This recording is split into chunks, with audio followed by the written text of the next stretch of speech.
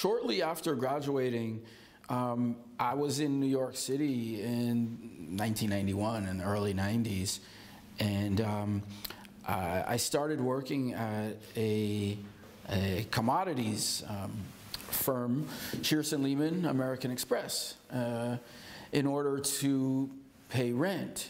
And it was around, it was probably about 10 months after I started working there that uh, the Whitney Museum of American Art decided they were going to do a retrospective on Jean-Michel Basquiat. Thelma Golden, my dear friend and mentor, um, uh, was working for a branch of the Whitney Museum, and she told the curator, Richard Marshall, uh, that uh, I had done my thesis on Jean-Michel Basquiat recently. And we met and we talked and we figured out a way to work together.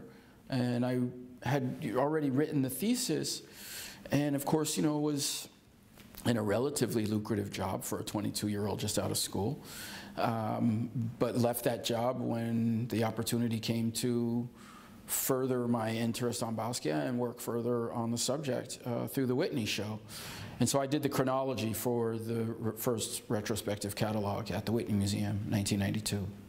Um, after that, I started working at uh, Dia Center for the Arts. And I think in some ways, Dia Center for the Arts has been a part of my trajectory ever since. Um, I started working there in the publications department, and that would have been in 1993 and had the great fortune of working with a woman named Karen Kelly, who was absolutely brilliant editorial publications person.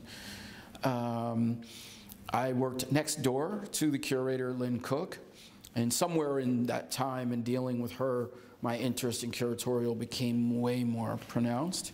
Um, and just learned a lot from being in the proximity of amazing people. The first director there was, when I was there, was a guy named Charlie Wright, who is a, a big um, arts person in Seattle right now, and family from Seattle. But at that time, he was a director and a really uh, amazing guy who created a space in which, you know, it wasn't just about visual art, it was also about writing. We had a great poetry program, we had a great publications program, obviously. We did things around music.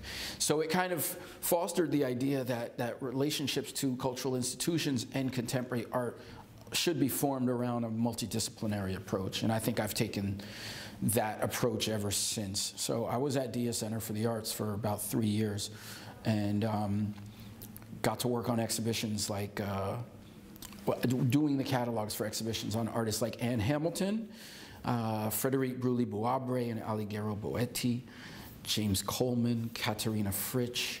Um, of course, we had great holdings around artists such as Walter de Maria, um, artists like Mike Heizer, uh, artists like Dan Flavin, and so got to spend time around those artists. And uh, you know, it was obviously an incredible experience to have at such an early point.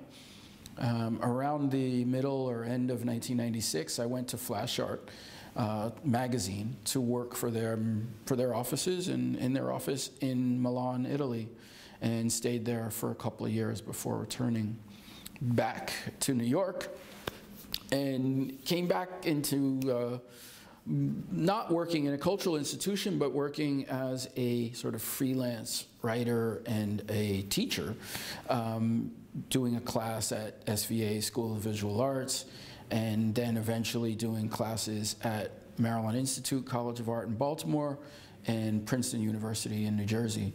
Um, so there was, was a way to cobble together a practice that was based in writing with one that was a little bit about teaching and one that could be about independent curating.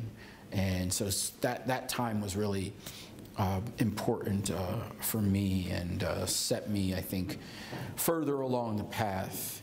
In 2001, I did an exhibition with uh, Lydia Yee at the Bronx Museum of the Arts called One Planet Under a Groove, Contemporary Art and Hip Hop. And that was my first real institutional um, exhibition. And um, had a fantastic time with that exhibition. Uh, included work by Jean-Michel Basquiat, included work by Keith Haring, um, artists of that ilk. Um, David Hammons, Adrian Piper, uh, a young guy named uh, William Cordova, who happens to be from here in Miami. We've been friends ever since. And um, also Louis Gispert, who was uh, also another Miami artist. So it was a, a, really interesting kind of a bunch of different things that, that cobbled together to make uh, an idea towards what could possibly be a, a vocation or a practice, if you will. Um, in 2005, I went to the Menil Collection in Houston, which also is connected to Dia Center for the Arts because it was the daughter of Dominique and John de Menil who started the Menil Collection in Houston. And one of their daughters, uh, Philippa, started the Dia Center for the Arts in New York. Um, and, and in some way, I've been a part of that conversation for, ever since.